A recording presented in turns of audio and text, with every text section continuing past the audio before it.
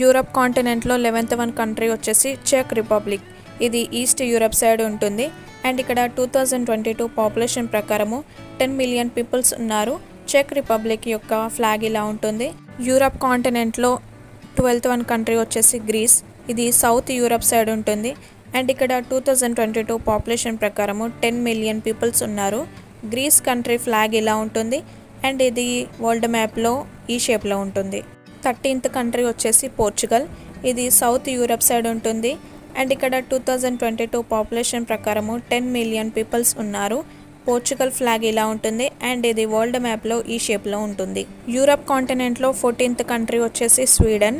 ఇది north Europe side ఉంటుంది. And ఇక్కడ two thousand twenty two population ప్రకారము ten point five four million peoples ఉన్నారు. స్వీడన్ కంట్రీ యొక్క ఫ్లాగ్ ఇలా ఉంటుంది. అండ్ ఇది వరల్డ్ మ్యాప్లో ఈ షేప్లో ఉంటుంది. యూరప్ కాంటినెంట్లో ఫిఫ్టీన్త్ వన్ కంట్రీ వచ్చేసి హంగేరీ. ఇది ఈస్ట్ యూరప్ సైడ్ ఉంటుంది. అండ్ ఇక్కడ two thousand twenty two population ప్రకారము నైన్ మిలియన్ పీపుల్స్ ఉన్నారు. ఇది Hungary country flag and Hungary అనేది వరల్డ్ మ్యాప్లో ఈ షేప్లో ఉంటుంది.